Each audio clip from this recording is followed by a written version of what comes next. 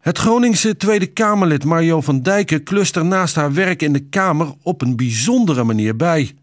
Vullen de meeste Kamerleden hun salaris aan met bestuursfuncties? Mario van Dijken schrijft buiten haar werk in de Kamer liedjes in het Gronings. Waaronder dit nummer, de Klerenkast Blues. Je bent dieet al wel bewaard, waar alles van calorieën.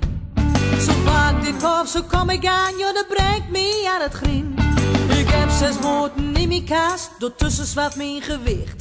Nu hebt u eten, moet je meer, maar één ding, ik blijf ik. De Kleierkaas Blues, dat gaat over een, eh, een vrouw met een beetje te veel gewicht. En een kleierkaas vol met kleider.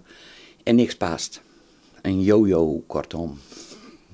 Dat Van Dijken liedjes schrijft werd bekend omdat gisteren de Tweede Kamer de bijverdiensten van de leden bekend maakte. Levert dit ook wat voor u op?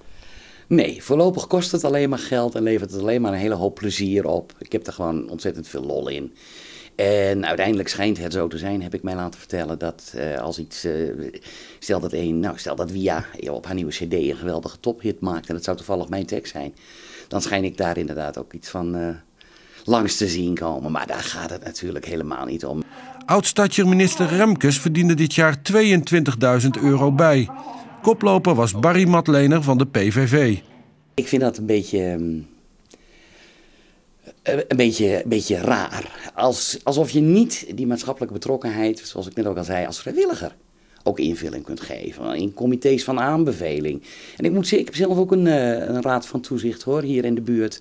En daar staat gewoon standaard een onkostenvergoeding voor. Maar dat betekent wel, dan heb je het inderdaad over nog geen 2000 euro per jaar en niet over 22. Maar goed, als ik dan die meneer van de PVV zie, dan denk ik van joh, maar weet jij er zo bij graait, kun jij de beveiliging van je eigen baas ook wel een uh, handje helpen bij uh, al dan niet het uitzenden van een filmpje.